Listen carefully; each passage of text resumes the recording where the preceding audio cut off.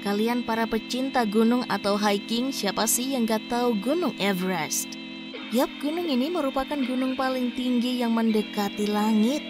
Suhu dingin yang mencapai minus derajat, persediaan oksigen yang sangat terbatas, disertai juga cuaca yang sangat ekstrim, para pendaki yang ingin menaklukkan gunung ini pasti menghasilkan korban setiap tahunnya. Di Gunung Everest, tidak ada tim SAR yang akan mengevakuasi korban guys. Kira-kira kenapa ya guys? Berikut alasan mengapa jasad di Gunung Everest dibiarkan berserakan versi Epic Vice.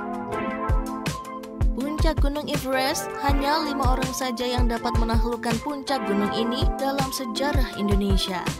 Kita ambil satu kasus aja ya guys. Dua mahasiswa Universitas Parahyangan yang bernama Francisca dan Dwi Lestari mereka berhasil menaklukkan gunung tertinggi di dunia itu.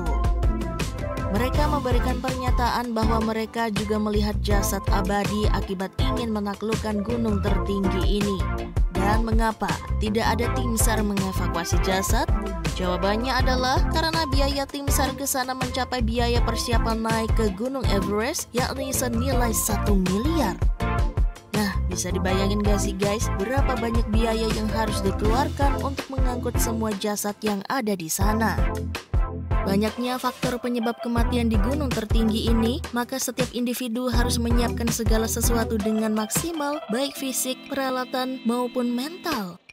Dan jika ingin menaklukkan gunung tertinggi di dunia, maka wajar saja jika banyak rintangan dan tantangan seperti medan yang sangat ekstrim. Keseringan pendaki gugur dikarenakan tidak kuat menahan dinginnya cuaca atau hipotermia puncak Gunung Everest berada di 8.860 meter di atas permukaan laut, sedangkan di ketinggian 8.000 meter di atas permukaan laut sudah disebut sebagai mid zone atau zona kematian. Hal ini dikarenakan kadar oksigen yang tidak ada, pendaki harus membawa dua tabung untuk membawa dirinya sendiri agar tetap bisa bernafas. Sehingga memberikan pertolongan kepada orang lain pun menjadi banyak risikonya juga untuk diri sendiri. Pendaki yang ingin menaklukkan gunung tertinggi di dunia ini sudah pasti dia mempunyai nyali dan tekad yang kuat dan sama saja siap menerima kematian di gunung tertinggi itu.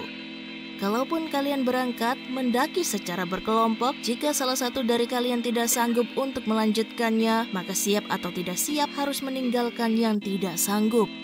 Di kasus ini bukan masalah tidak peduli satu sama lain, melainkan ini adalah gunung tertinggi di dunia dengan suhu dan cuaca yang sangat ekstrim.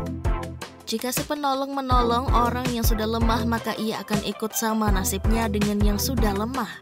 Maka hal tersebut menjadi mustahil jika kita saling menolong.